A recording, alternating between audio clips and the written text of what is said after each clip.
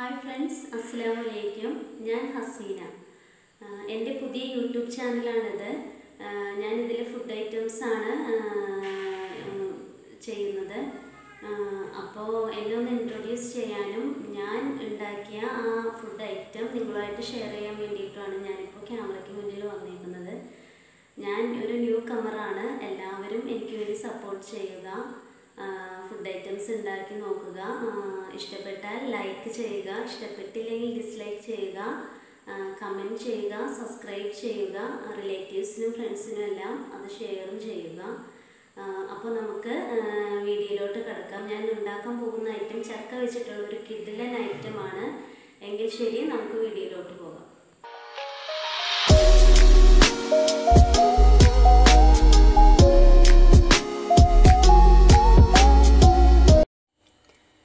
കട്ട്ലേറ്റിന് വേണ്ട main ingredients ചക്കയാണ്. ഇപ്പോൾ ചക്ക എല്ലാവരുടെയും വീട്ടിൽ സുലഭമായിട്ടുണ്ടാവും. ഉണ്ടാവാത്ത വീടുകളുണ്ടാവും കേട്ടോ അപ്പോൾ ഞാനൊരു ചക്കയുടെ കാൽ ഭാഗമാണ് എടുത്തേക്കുന്നത്. അത് വരിക്ക ചക്കയാണ്. നല്ല മൂത്ത വരിക്ക ചക്ക. അത് ചെറുതാക്കി അരിഞ്ഞിട്ട് കുറച്ച് ഉപ്പും മഞ്ഞൾപ്പൊടിയും ചേർത്ത് നന്നായിട്ട് വേവിക്കുക. ഞാൻ രണ്ട് വിസിൽ പോണ വരെ കുക്കറിലിട്ടാണ് ഇത് വേവിച്ചെടുത്തത്. വേവിച്ച് ഉടച്ച് വെച്ചിട്ടുണ്ട്. അത് നമുക്ക് ഒരു സൈഡിലോട്ട് മാറ്റി വയ്ക്കാം അടുത്തതായിട്ട് ഒരു സവാള. വലുതാണെങ്കിൽ മീഡിയം വലുതൊക്കെ ആണെങ്കിൽ ഒരു സവാള ചെറുതാണെങ്കിൽ രണ്ട് സവാള. ഒരു അഞ്ചാറ് അല്ലി വെളുത്തുള്ളി ചെറുതാക്കി അരിഞ്ഞത്. ഒരു ചെറിയ കഷ്ണം ഇഞ്ചി രണ്ട് പച്ചമുളക് വട്ടത്തിലരിഞ്ഞത് കുറച്ച് മല്ലിയില ആവശ്യത്തിന് കറിവേപ്പില. ഇനി ഇതിലേക്ക് ആവശ്യമായ മസാലാസ് എന്തൊക്കെയാണെന്ന് നോക്കാം.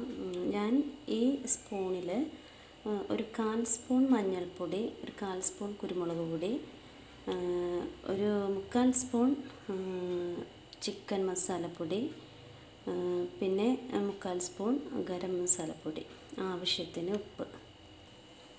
പിന്നെ ഇതിലേക്ക് വേണ്ടത് രണ്ട് കോഴിമുട്ട ബ്രെഡ് പൊടിച്ചത് ബ്രെഡ് ക്രംസ്. അത് നമ്മൾ ഇതിൽ മുക്കിയിട്ട് മുട്ടയിൽ മുക്കിയിട്ട് ബ്രെഡ് ക്രംസിൽ പൊതിഞ്ഞിട്ട് സാധാ കട്ട്ലേറ്റ് ചെയ്യണ പോലെ പൊരിച്ചെടുക്കുക എണ്ണയിൽ ഇനി ഈ ചക്ക കട്ട്ലേറ്റ് എങ്ങനെയാണ് ഉണ്ടാക്കണതെന്ന് നമുക്ക് നോക്കാം. അതിനായിട്ട് നമുക്ക് ആദ്യം പാൻ ചൂടാക്കാം.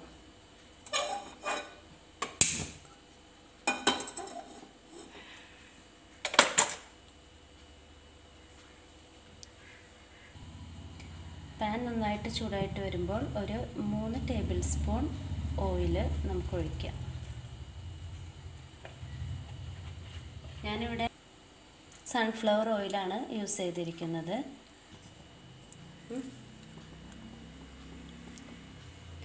ആദ്യം തന്നെ അത് കഴിഞ്ഞ് ഇഞ്ചി വെളുത്തുള്ളി ചെറുതായിട്ട് അരിഞ്ഞത്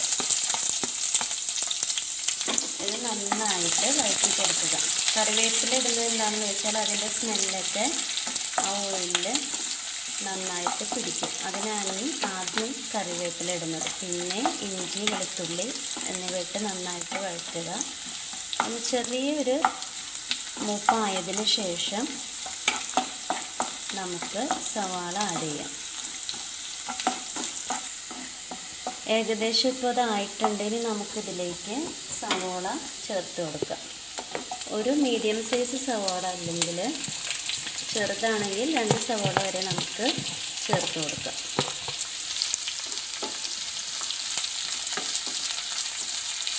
എന്നിട്ട് നന്നായിട്ട് വഴറ്റി കൊടുക്കുക. നന്നായിട്ട് വഴറ്റി കൊടുക്കുക. ഫ്ലെയിം ഒരു മീഡിയം ഇതിലിട്ടാൽ മതി.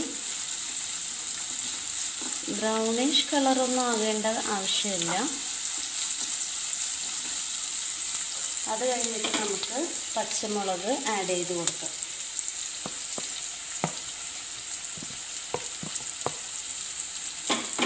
ഞാൻ പറഞ്ഞല്ലോ ഇതിപ്പോൾ ചക്കയാണ് ഇതിലെ താരം.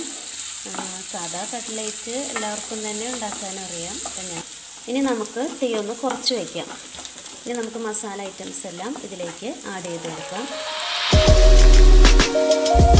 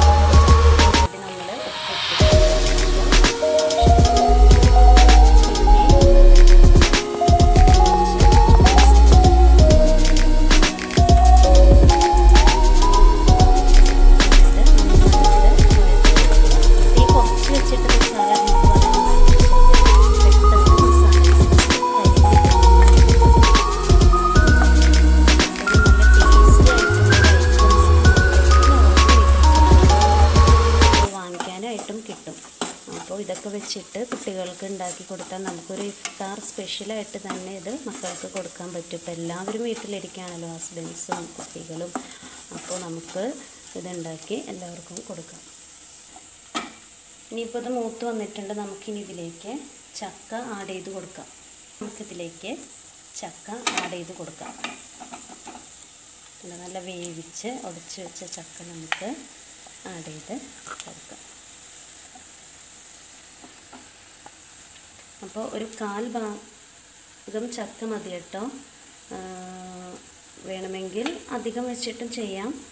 അപ്പോൾ നമുക്കല്ലേ അറിയാവുള്ളൂ വീട്ടിലെത്ര അംഗങ്ങളൊക്കെ ഉണ്ട് എന്നുള്ളത്. അപ്പോൾ അതിനനുസരിച്ചിട്ട് നിങ്ങൾക്ക് ട്രൈ ചെയ്യാം. തീർച്ചയായിട്ടും എല്ലാവരും ഇത് ട്രൈ ചെയ്യണം. എന്നിട്ട് കമന്റ് അറിയിക്കണം എല്ലാവരും. ഷെയർ ചെയ്യണം. ഇഷ്ടപ്പെട്ടെങ്കിൽ ലൈക്ക് ചെയ്യുക. ഇഷ്ടപ്പെട്ടില്ലെങ്കിൽ ഡിസ്ലൈക്ക് ചെയ്യുക. നിങ്ങളുടെ കമൻസാണ് എന്റെ വിജയം. ഇത് നന്നായിട്ട് ഇളക്കി യോജിപ്പിക്കുക.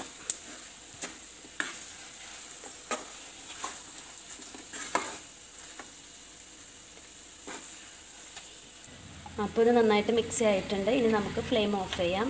അതൊന്ന് തണുത്തതിന് ശേഷം നമുക്ക് റോൾ ചെയ്ത് കട്ട്ലേറ്റ് ഉണ്ടാക്കാൻ ശ്രമിക്കാം. നമുക്ക് ഇവിടെ ചക്കക്കൂട്ട് റെഡി ആയിട്ടുണ്ട്. ഫ്ലെയിം ഓഫ് ചെയ്തതിന് ശേഷം നമ്മൾ കട്ട് ചെയ്ത് വെച്ച മല്ലിയിലയും കൂടി ഇട്ടിട്ട് നന്നായിട്ട് ഇളക്കി യോജിപ്പിക്കാം. മല്ലിയില ഇല്ലെങ്കിലും നിങ്ങൾക്കിത് സ്കിപ്പ് ചെയ്യാം കേട്ടോ. ഇല്ലാത്തവർ ഇടണ്ട. എന്റെ കയ്യിലുള്ളത് കൊണ്ട് ഞാൻ ഇട്ടുന്നേ ഉള്ളൂ. നന്നായിട്ട് യോജിപ്പിക്കുക. ഇത് തണുത്തതിന് ശേഷം നമുക്ക് ഇഷ്ടമുള്ള ഷേപ്പിലാക്കിയിട്ട് കട്ട്ലേറ്റ് ആക്കി എടുക്കാം.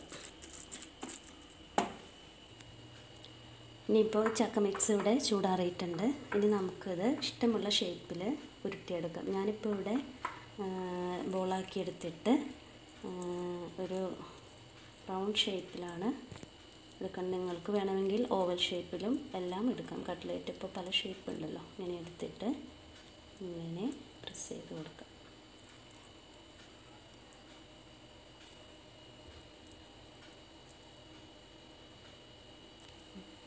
ഈ ഷേപ്പിൽ ആണ് ഞാൻ ഉണ്ടാക്കാൻ ഉദ്ദേശിച്ചിരിക്കുന്നത്. അപ്പോൾ ഈ ഷേപ്പാക്കുക ഇതിലും വലുത് വേണമെങ്കിൽ നിങ്ങൾക്ക് വലുതുണ്ടാക്കാം. ഓവൽ ഷേപ്പാണെങ്കിൽ ഓവൽ ഷേപ്പിൽ ഇനി ഈ കൂട്ട് നമുക്ക്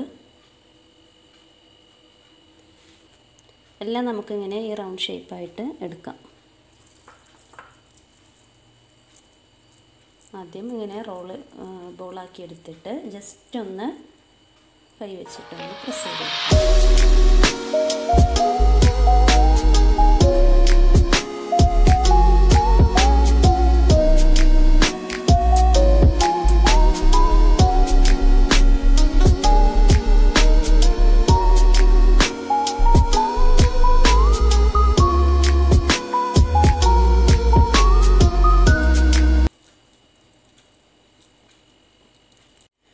ഇപ്പോൾ ഞാൻ ഈ ഷേപ്പിൽ എല്ലാ കട്ട്ലേറ്റ്സും റെഡിയാക്കിയിട്ടുണ്ട്. ഇനി നമുക്കിത് മുട്ടയിൽ മുക്കിയിട്ട് ബ്രെഡ് ക്രംസിൽ ഡിപ്പ് ചെയ്ത് ഫ്രൈ ചെയ്തെടുക്കാം.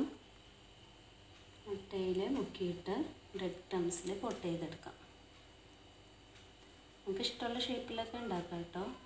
നിങ്ങളുടെ ഐഡിയ അനുസരിച്ച് ഞാനിപ്പോൾ ഈ ഒരു ഷേപ്പിലാണ് ചെയ്തെടുത്തേക്കുന്നത്. അങ്ങനെ ഓരോ ചക്കയുടെ കൂട്ടും നമുക്കിങ്ങനെ ഡിപ്പ് ചെയ്ത് ബ്രെഡിൽ മുക്കിയിട്ട് മാറ്റി വെക്കാം.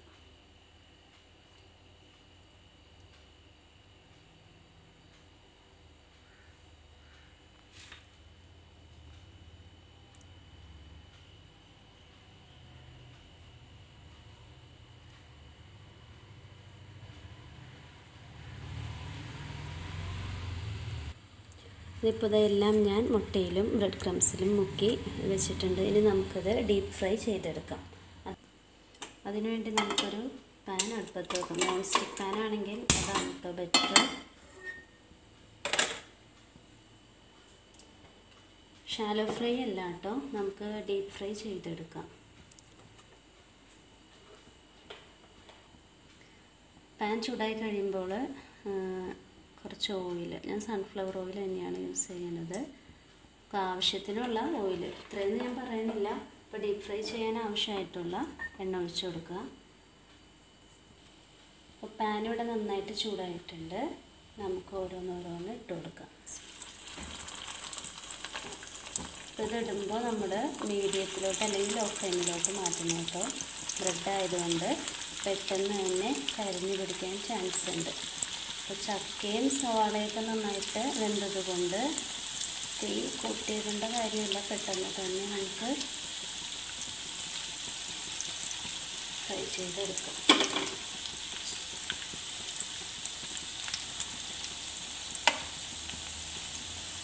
ജസ്റ്റ് ഒന്നെല്ലാം ഒന്ന് നീക്കിയിട്ട് ഇട്ട് കൊടുക്കാം.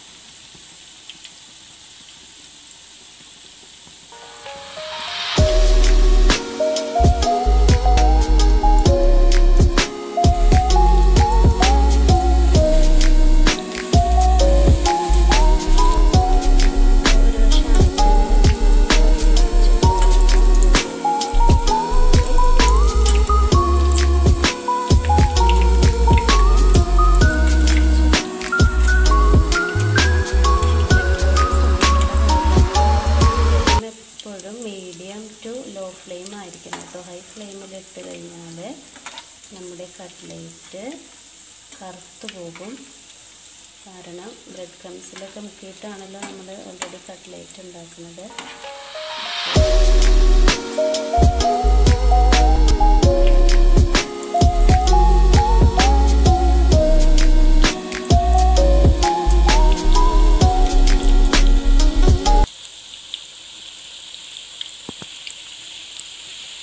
നമ്മുടെ കട്ട്ലേറ്റ് ഏകദേശം റെഡി ആയിട്ടുണ്ട്. അപ്പോൾ നമുക്കത് പാനിൽ നിന്ന് മാറ്റി കൊടുക്കാം ഇത്രയും കളറ് മതി കേട്ടോ ചക്കയും നമ്മുടെ മസാല ഐറ്റംസൊക്കെ ഓൾറെഡി വേവിച്ചതാണ് അപ്പോൾ ഈ ഒരു മരിച്ചിൽ മതിയാകും നമുക്കിതൊരു പാത്രത്തിലേക്ക് സെർവിങ് പ്ലേറ്റിലോട്ട് മാറ്റാം. എന്റെ കയ്യിൽ ടിഷ്യൂ ഒന്നും ഇല്ല കേട്ടോ ഞാൻ നേരെ പ്ലേറ്റിലേക്ക് അങ്ങോട്ട് ഇതാണ്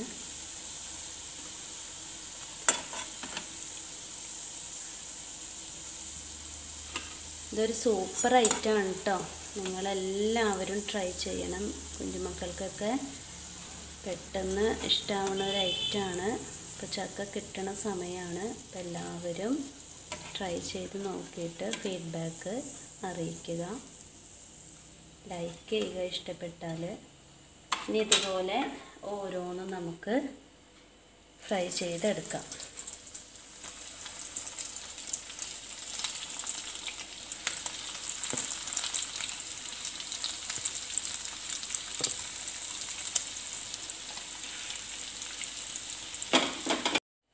അങ്ങനെ സ്വാദിഷ്ടമായ ചക്ക കട്ട്ലേറ്റ് ഇവിടെ റെഡിയായി നമുക്കത് ടൊമാറ്റോ സോസും കൂട്ടി കഴിക്കാം.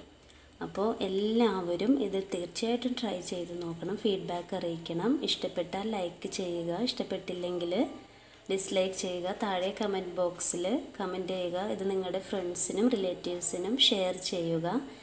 Thank you so much. ഇനി അടുത്ത ബൈ ബൈ